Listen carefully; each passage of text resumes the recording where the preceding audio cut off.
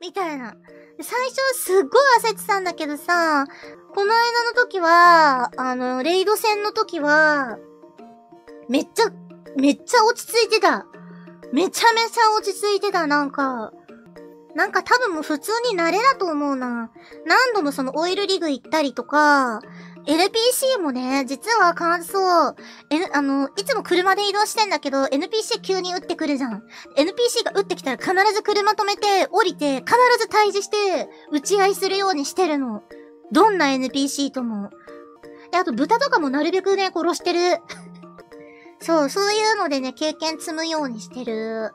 てる。豚はもういい。え、でもね、意外と走り去る豚とかって結構横移動とか、なんか山登ったりとかして、縦にとか横に動くのね。その時に、走り去る豚の動きを予測して、そこに向かってデデデデデって撃っていって、なるべく最小の弾数で、あのー、撃ち殺すっていうのを、最初はできなかったんだけど、なんか当たんなくてさ。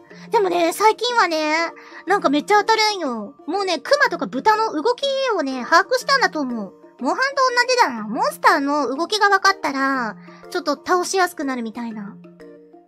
なんか本当に一人で練習しまくったからさ、裏で。なんか全然 FPS やったことなかったからちゃんと経験になるかなって思って不安だったけど、頑張ってよかった。いや、それをみんながね、頑張ったねとかさ、上手になったねって見つけてくれるからさ、諦めずにできましたね、本当に。みんなのおかげ。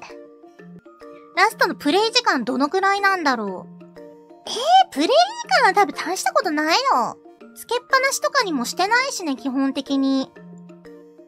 プレイ時間277時間だって。そんな多くないっしょわかんないけど。これな、どれくらいが多いのかわかんないけど。すごくない？え、嘘、って、あの、あの、たまに放置してるんでね。はい。十分すぎる、えぐい。本当放置してる時もありますね。2ヶ月で、はい、2ヶ月で277時間やってるみたい。1日5時間ぐらいやってる。